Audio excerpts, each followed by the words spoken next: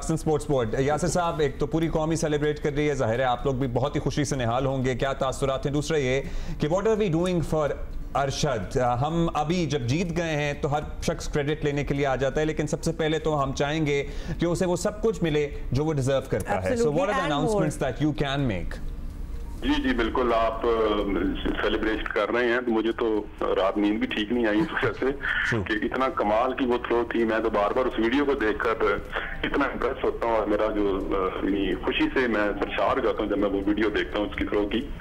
और दूसरा इस इस इस रिकॉर्ड से ना एक मिथ खत्म हुई है।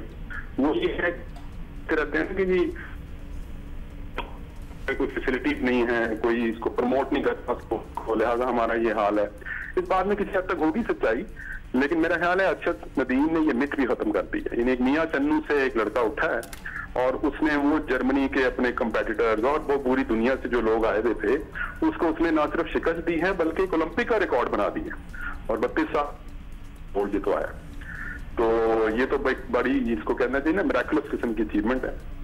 बाकी आपने जो सवाल किया कि क्या कर रहे हैं, हमने पहले भी स्पोर्ट्स बोर्ड ने नदीम की कैश अवार्ड भी इनको दिया था और इसके अलावा इनकी इंजरी इनकी वहाँ पे सारा जाना और ये वो इसकी कोचिंग यहाँ पे कैंप्स लगाए थे हमने। और अब ये जो अचीवमेंट हुई है, इसके बाद इन ताला गवर्नमेंट ऑफ़ पाकिस्तान जो है, वो प्राइम मिनिस्टर साहब इनके लिए कैश अवार्ड का भी इनाम करेंगे। जल्द मेरा ख्याल है कि तकरीबन वो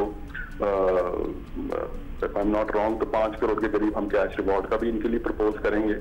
और इसके अलावा इनके नाम पे कोई कोचिंग सेंटर भी हम करेंगे। जी वो तो अच्छा, स्टेडियम की बड़ी अरसे से वज़ीर आज़म से भी गुजारिश कर चुके हैं कि उनको अपने गाँव में एक एक ग्राउंड चाहिए।